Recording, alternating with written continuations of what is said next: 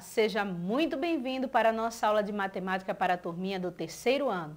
Eu sou a professora Janaína e hoje nós vamos falar como vamos resolver multiplicações. Estão preparados? Para a nossa aula de hoje, pega aí os seus materiais, caderno, borracha, o seu lápis, a sua calculadora, ah, importante também, lápis de cor. Antes, para começarmos aqui a nossa aula, vamos resolver o desafio de multiplicação das aulas anteriores. Vamos lá? Eu pedi para que vocês resolvessem esta multiplicação aqui, ó. 243 vezes 2. Vamos lá, colocando aí o quadro valor de lugar. Vamos colocar o multiplicando. Então, eu tenho 3 na unidade, 4 na dezena e 2 na centena. Agora vamos colocar o multiplicador, que é o numeral 2. Sinal da multiplicação, sinal de vezes. Passei o traço, vamos resolver. 2 vezes 3, isso mesmo, 6. 2 vezes 4, 8. 2 vezes 2, 4. Então, como resultado desta multiplicação, temos o produto 486. Bom, mas eu também te pedi para resolver uma outra operação, que foi uma outra multiplicação. Vamos lá? 132 vezes 3. Novamente, colocando o quadro valor de lugar, vamos colocar agora o multiplicando. 2 na unidade, 3 na dezena, 1 na centena. E agora, o multiplicador, que é o numeral 3, isso mesmo. Sinal da multiplicação, passei o traço, agora vamos resolver. 3 vezes 2, quanto? Isso mesmo, 6. 3 vezes 3, 9.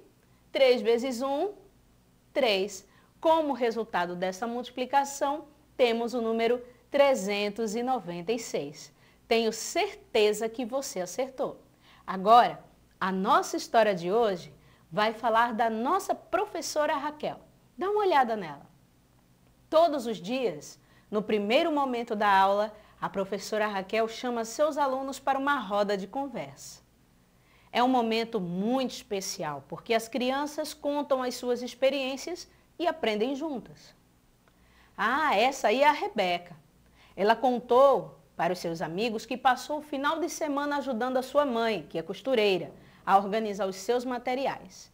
Mas na hora de saber quantos metros de linha tinha na prateleira, Rebeca ficou confusa. Por que será? Olha só, a professora Raquel e seus amigos a ajudaram a calcular o total.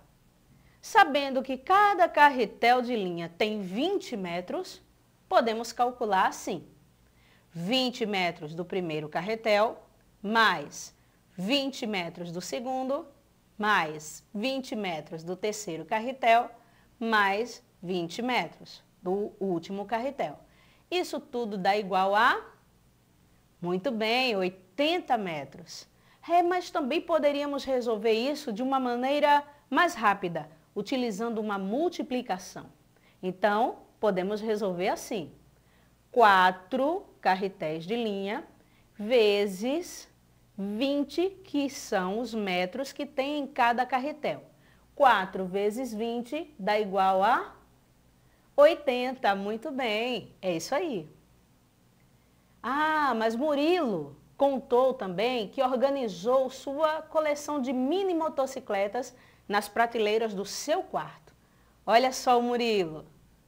E olha só as mini motocicletas dele, que legal. Ele explicou que colocou quatro brinquedos em cada uma das cinco prateleiras. E aí, como ficou essa organização? Quatro motocicletas da primeira prateleira, vezes cinco prateleiras, que dá igual a 4 vezes 5 é igual a 20. É isso mesmo, assim, Murilo possui 20 mini motocicletas. Viram como nós conseguimos resolver essas situações através da multiplicação? Mas olha, mais, uma, mais um caso, mais uma conversa. Raul trouxe o seu brinquedo novo para apresentar aos seus amigos. Ele disse que o popite foi um presente da sua madrinha. Ela explicou que era um passatempo interessante. A professora Raquel disse que também é possível aprender multiplicação com ele. Vamos ver como? E aí? Como aprender multiplicação através do brinquedo de Raul? Vamos praticar? Para isso, pega aí a sua calculadora e vem comigo. Olha só aqui o brinquedo de Raul. Eu sei que você já viu esse brinquedo, né? Eu já vi esse brinquedo por aí. E aí nós vamos aprender a multiplicar com este brinquedo. E aí eu, te, eu trouxe aqui dois dados. Um dado vai representar o nosso multiplicando e o outro dado vai representar o nosso multiplicador. Nós vamos calcular isso aqui neste brinquedo. Olha só, o que vai representar o nosso multiplicando vai estar desse lado, o que vai representar o nosso multiplicador eu vou colocar aqui do outro lado. E aí nós vamos fazer o seguinte, este vai representar o número de colunas que nós vamos usar. E este aqui vai representar o número de linhas, a quantidade aqui que nós vamos utilizar, ok? Então vamos lá? Vamos aqui organizando. Primeira jogada. Ih, saiu o número 1. Então significa que eu só vou utilizar aqui uma fileira, ok? E agora Quantos eu vou apertar aqui nesta primeira fileira? Vamos lá, jogando o dado. Um, cinco. Então, eu só vou usar uma fileira e nessa fileira vou usar cinco bolinhas. Então, uma, duas, três, vem cá, três, quatro, cinco. Quantas bolinhas eu apertei? Cinco. Então, uma vezes cinco dá igual a 5. É, quer conferir? Pega aí a sua calculadora. Vamos lá? Coloca aí na calculadora. 1. Um. Agora aperta o sinal de vezes. Número 5. E aí? Apertou? Deu quanto? 5. Muito bem. Esse é o nosso resultado. Vamos para mais uma? Será que agora aqui vai sair um numeral maior? Ui! Opa! Saiu aqui o numeral 4. Então, agora, eu vou utilizar aqui, deixa eu voltar para o estágio inicial, vou usar aqui quatro fileirinhas, ok? E aí, quantas? Uh, em cada fileira, apenas duas bolinhas.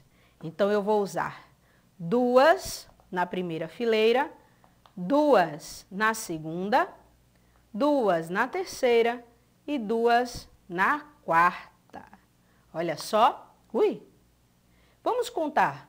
Um, dois, três, quatro, cinco, seis, sete, oito. Pega aí a sua calculadora agora. Vamos conferir.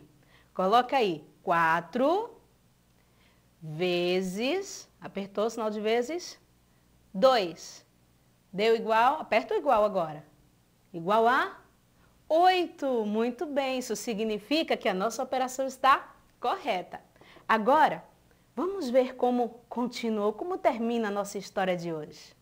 Olha só, a conversa entre a professora Raquel e as crianças continuou animada, mas já estava na hora de iniciar as atividades escritas. Ah, as crianças aprenderam muito sobre multiplicação e acharam um novo brinquedo do Raul muito divertido. E você, o que achou? E falando nesse brinquedo, o nosso desafio de hoje é com ele. Olha, Desenhe pop-it, assim como esse desenho bonitinho que a gente colocou aqui na tela. Desenhe no seu caderno colorindo as bolinhas de acordo com o resultado dessas operações. Quais são elas? 3 vezes 4 e 5 vezes 6. Ah, vai ser muito legal. Coloca aí direitinho o resultado, deixa bem colorido e bem organizado. E assim, nós terminamos aqui o nosso encontro de hoje.